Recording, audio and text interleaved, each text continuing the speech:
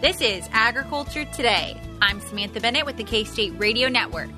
Ahead of us today on this Thursday's programming, we start with Brian Lubbers. He is an associate professor in the K State College of Veterinary Medicine and a certified veterinary pharmacologist. And he's providing information on upcoming antimicrobial regulations outlined by the FDA and what these regulations will really mean for producers. Also ahead, K State Water Extension Specialist Jonathan Aguilar discusses what producers need to know when it comes to making irrigation decisions when experiencing drought conditions and what to do when it actually rains. We end with K State horticultural entomologist Raymond Cloyd. He provides an update on a number of insect pests currently active in Kansas, including cicada killers and mimosa webworms. That and more awaits us ahead on Agriculture Today.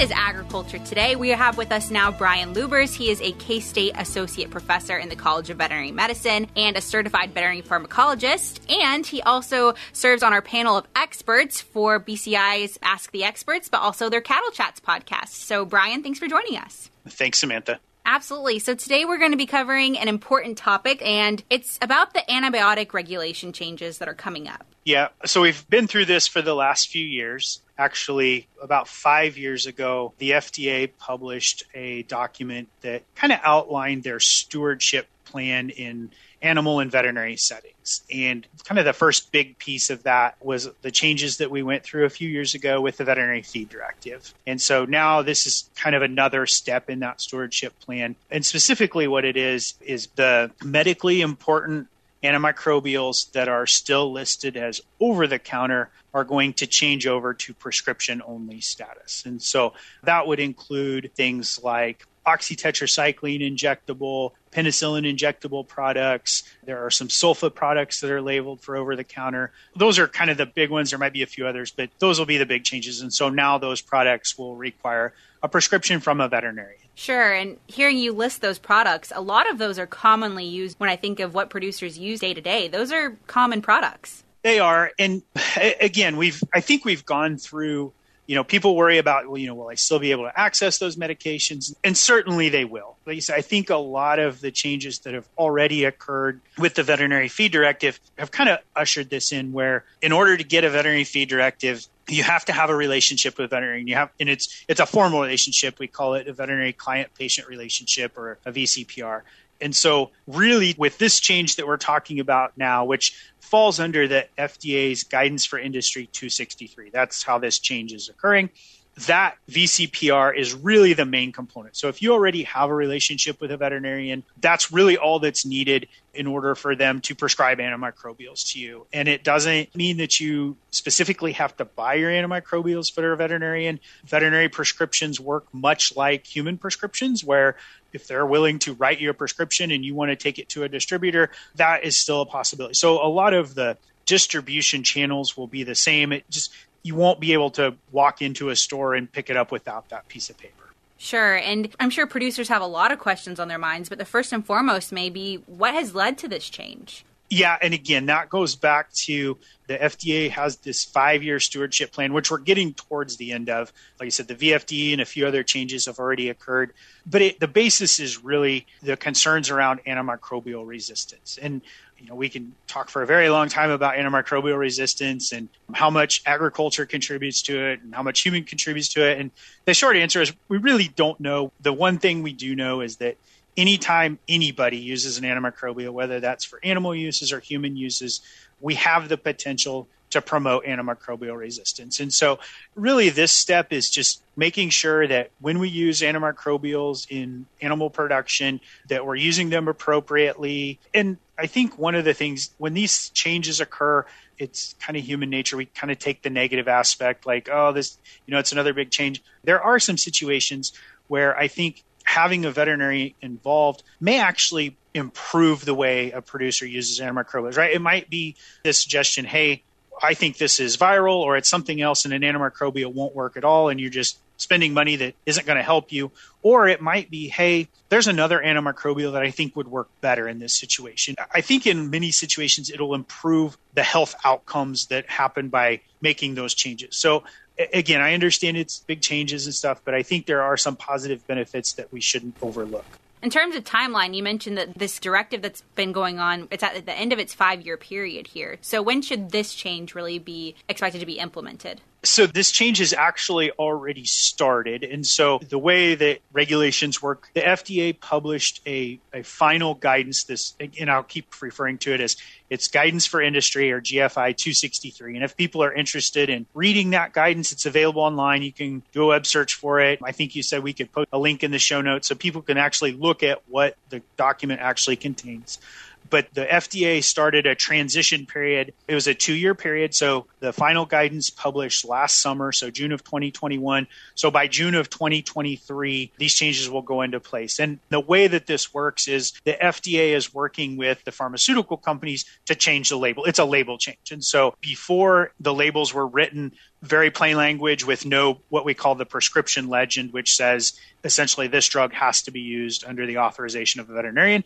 So the change is that statement will now be on the labels. It'll say, so that makes it a prescription product. Absolutely. So from going over to something that was, you know, obtained easily at a feed store or whatever you have it, it's now something like you said that you'll have to have a prescription for prior to purchasing those products and it's just yep. a label change. So that takes time. It does. Like you said, there's a short transition period. And really, you know, as far as the access goes, I think it's just a little bit of planning for the part of producers. If you already have the relationship with the veterinarian, just talk to them, tell them what you've been doing in the past as far as using these over the counter products so that they have an expectation of, you know, if we're putting together treatment protocols or whatever, we can put those products in and then we can make sure you have the prescription so that you, you can access them when you need them.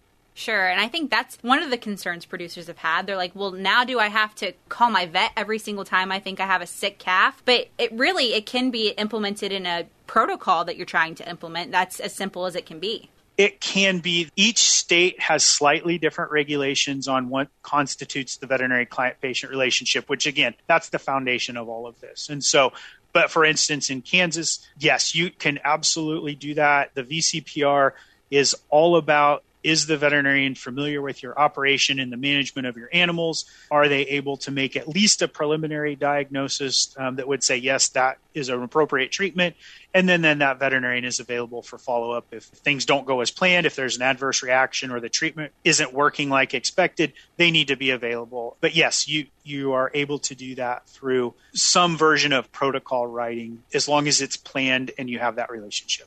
Absolutely. And I think that's at the basis of everything that we encourage here at K State when it comes to food animal production is having that relationship with your veterinarian. And hopefully this just continues to encourage that relationship. Yep, absolutely. And then, in terms of where producers can see this going in the future, can we expect any more additional changes, or do we think that this is the end of the road when it comes to this? I wish I had that crystal ball, Samantha. You know, I think with this, I think the big changes have been made right now, either through the feed or through oral. And this change will include oral and injectable products. Everything will be under this. I'll say the supervision of veterinarian to relevant to the discussion we just had about you know the veterinarian doesn't have to examine every animal. I think those are the big changes. There'll probably be some changes in the future still. I think this is an ongoing process, especially so the the other change I kind of expect I don't have a timeline for this, but all of this applies to what the FDA calls medically important antimicrobials, and those are and it's medically important on the human side. So it's which antimicrobials or antimicrobial classes do they use in human medicine, and then how does that relate to what we use? I think I would expect some changes on how some of those are classified. So the more important it is to human medicine, the more restricted our access to those drugs will be. And it could be things as simple as we aren't going to use it extra labelly. We already have some products that way that even a veterinarian can't prescribe that. I don't at this point see anything that I think is going to be outright removed from the use, but I think maybe a little tighter restriction so we're not using as much in some of those classes. I don't think this is the end of the road. Antimicrobial resistance is a huge public health issue, causes issues for us in, in the veterinary side as well.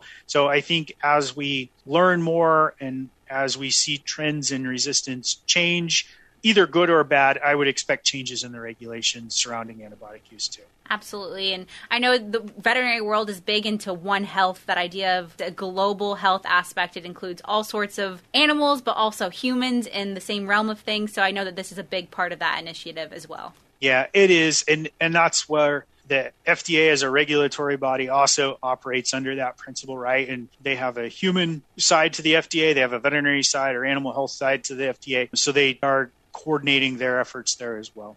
Absolutely. And I know you mentioned one of those resources before that producers could go to and check out if they wanted to learn a little bit more about these changes that they can expect. But if there's any more information that you think might be helpful to them, where can they find that at? I would encourage people if you want to you want to read the actual guidance that the FDA published. It's not long. I think it's eight or ten pages. It's pretty short, really. They also have a fact sheet that's um, frequently asked questions for farmers and ranchers. If you again, if you web search GFI or Guidance for Industry 263 and you say frequently asked questions for farmers and ranchers, it'll pull up that fact sheet. And I think that's a nice concise summary of what the regulations will be and really a lot of the things we've talked about today are on theirs too and then i like i said i will send the link to the actual guidance if people want to read through that as well. Like you mentioned before, that will be linked in the show notes of today's program, which can be found on agtoday.net. Brian, thank you so much for your time today. Thanks, Samantha. I appreciate it. And also, if, if anybody has questions and they want to contact us, please feel free. We can post email addresses in the show notes too if you want. Absolutely. And I feel like this would make for a great BCI Ask the Experts segment. So hopefully, if someone has any questions, they can send it into that as well. That'd be a great topic for one of those. Absolutely. Well, once again, that was Brian Lubbers. He is an associate professor here at K State in the College of Veterinary Medicine, and he serves as a certified veterinary pharmacologist, covering upcoming antimicrobial regulation changes that you can expect. We'll be back with more ahead on Agriculture Today.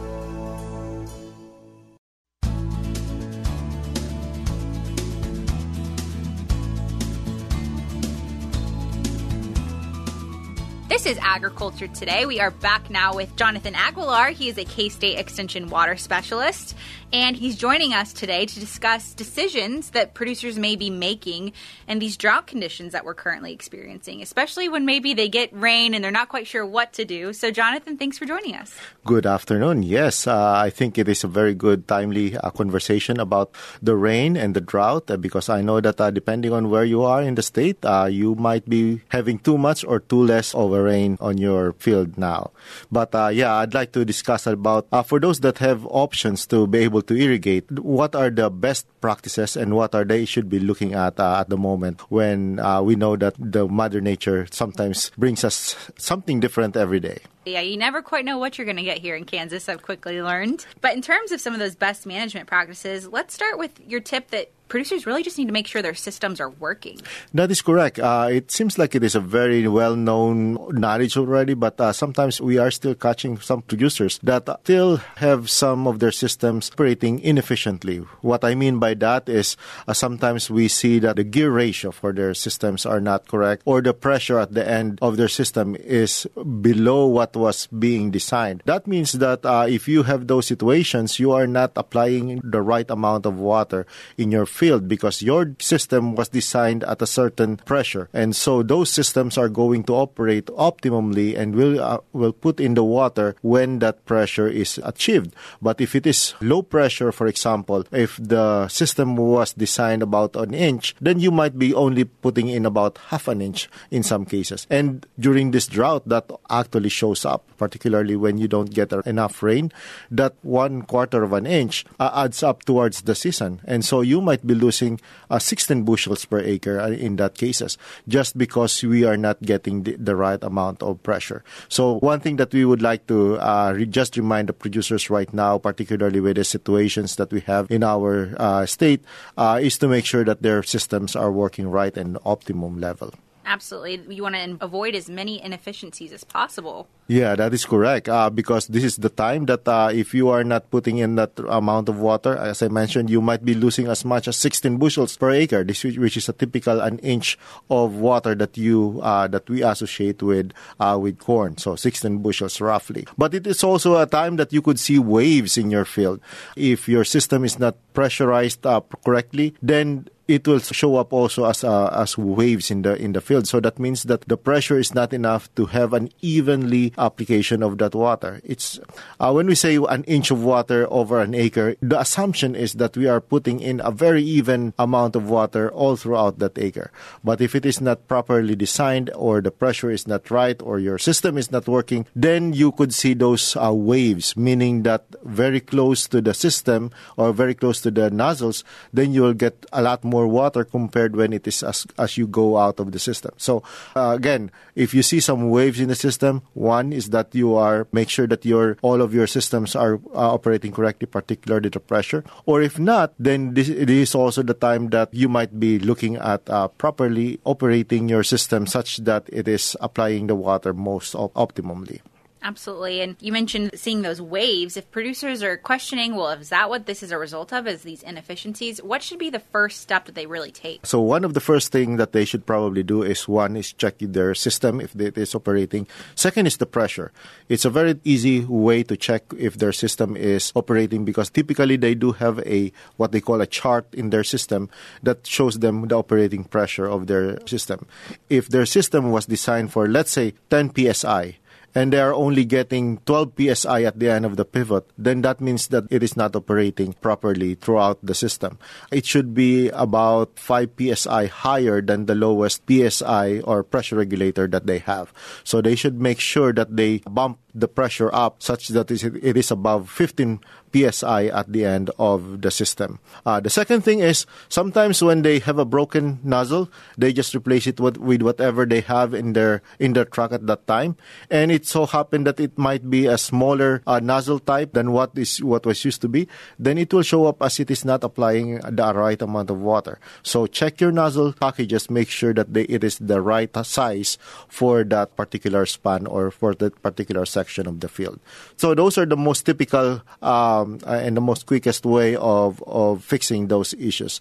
The other issues could be more towards the system itself, and that means that they might have to call their distributor so that they could check the system more properly. Absolutely. And, you know, it's easy to make those small changes where you're like, well, I've got this nozzle. This will work fine. It's easy to make that assumption. But like you said, those little changes over time can end up big result changes in what your field actually yields. That That is correct. And, and, and sometimes it's also deceiving because you will see that they are actually applying water.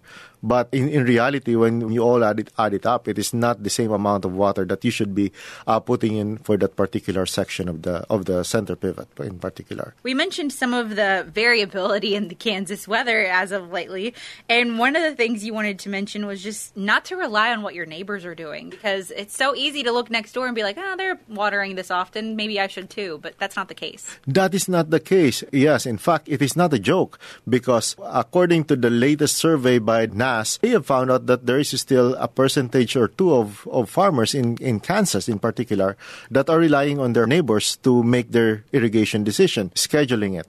Well, you mentioned about Kansas. Well, in Kansas, we do have thunderstorms, and a thunderstorm might be passing through a mile away from us, and so they've got about an inch or two, and uh, we are not getting it. And so, definitely, it's not the same as our field anymore. So, don't rely on your neighbor to make that decision. There are a couple of things that we could probably do. One is if you don't have any anything else yet, put on a soil moisture sensors.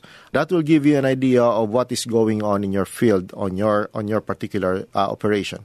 The second, which is free, is by the use of of, of weather stations. Mesonet has a good distribution of weather stations, and one of the things that we are measuring is ET or evapotranspiration or the amount of water that is lost for a given crop. And we have an app for that. We call it KanSched, and it could be accessed through our website, MILAB or mylab.edu, and you, it is a free app application for you to be able to match up what is being lost in your field, what you are putting in, and just give you an idea. Of, okay, I probably have a two more days to be able to shut off our system before I need some more moisture. And if there is actually a, a rain in the forecast, you could stop your system for a while and give space for that rain to, to get into your field. Because that actually helps us both on the drought condition and on the flood condition. Because if we are able to capture that rain then there's no runoff there's no flooding locally. But at the same time if we stop also our system before the rain comes in then we've got free water.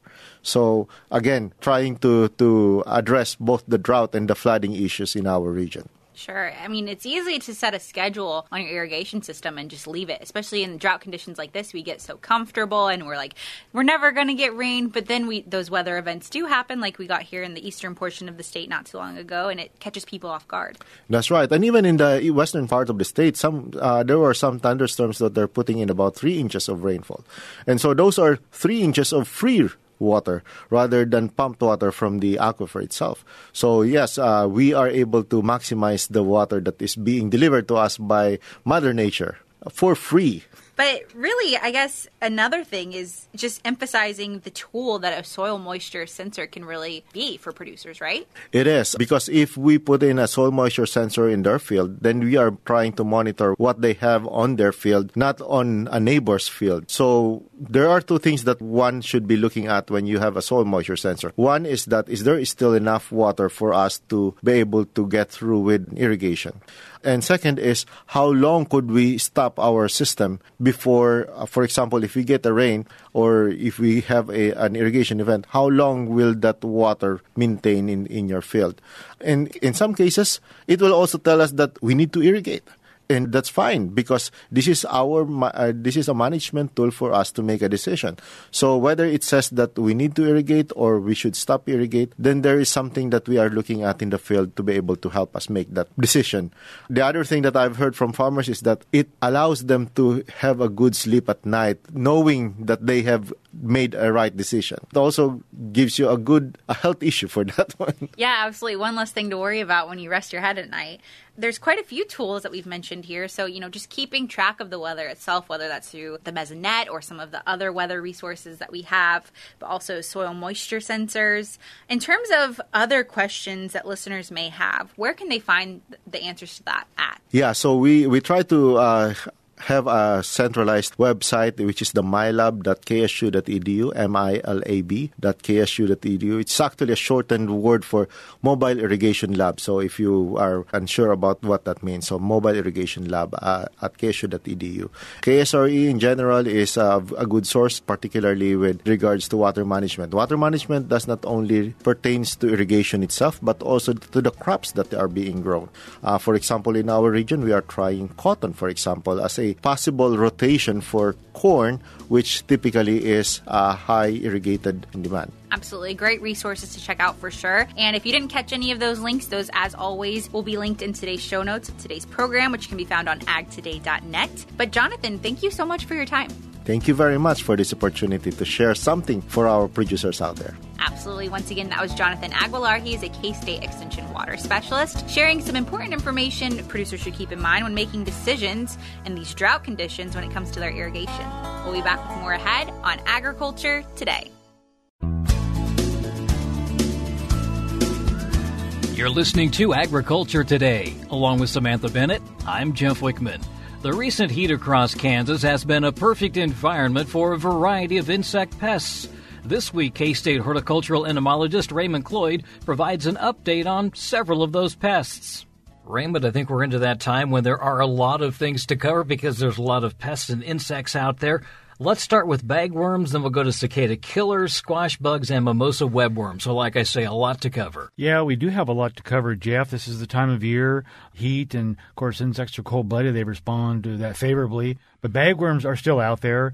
The window of opportunity to deal with them is closing very, very fast because they're getting close to forming what we call the brown cap stage or sometimes the green cap stage early on, and they don't feed at that point. So, applying insecticide is really not an option. The only option you will have is the infamous hand picking or hand removal. And there's some misperceptions there. I want to clear that up really quickly. Is when you do the hand re- removal, and it is effective, but only on the female bags. When you see bags with a papery case at the bottom, that's a male bag. There are no eggs in there. So, in order to alleviate the problem with the 500 or 1,000 caterpillars for next year, you want to find the bags without the paper cases. And you pull them off the plants, put them in a bucket of soapy water, about a 1 to 10 solution, ivory, joy, Palmolive. Let them sit there for 15 minutes, and then put them in a very hot, dry area. And that should be pretty easy in most cases.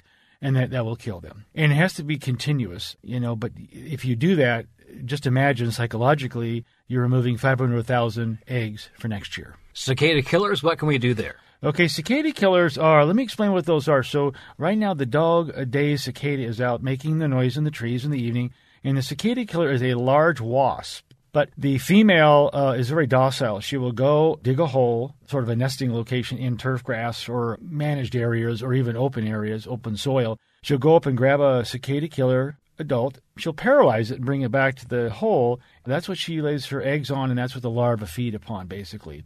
It's the males that get the bad reputation. The males are very intimidating and large. They they zip back and forth, and uh, people are very concerned. But you don't have to be because males can't sting you. They don't have the ovipositor or egg laying device that the females do. So they are out there, which is really in conjunction with the, the dog day cicada.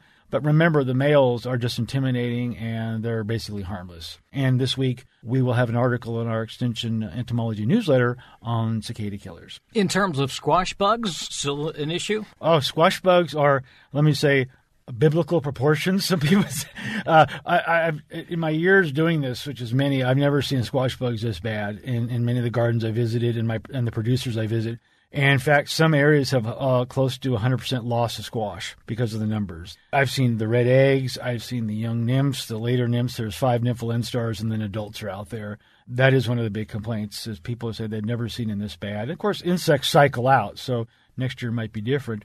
But at this point, I mean, you can spray, but it's just it's almost thankless. You can hand pick or vacuum, but in the insect world, it's a numbers game, and the squash bugs have definitely got the upper hand in terms of the numbers. And in terms of mimosa webworm, is that something that we're kind of adding to the list here? Yeah, mimosa webworm to me is a, a concern in terms of control because the window of opportunity is very narrow. The mimosa webworm is a caterpillar primarily attacks mimosa and honey locust. So this time of year, if you see your honey locust with brown leaves or dying back, the insect responsible is mimosa webworm. You can't do anything about it in early spring, you need to go out there like with a white piece of paper, knock the branches. If you see these green, wiggly, active caterpillars, that's when you want to spray. Once the leaves are folded up and they start turning brown, then it's really too late. If you have a large honey locust tree, mimosa tree, it would take several years of complete defoliation, you know, damage, but the tree's not going to look very good the rest of the year that's the timing. So you want if you do have a history or you have honey locust trees or mimosa webworm trees in the neighborhood, your area,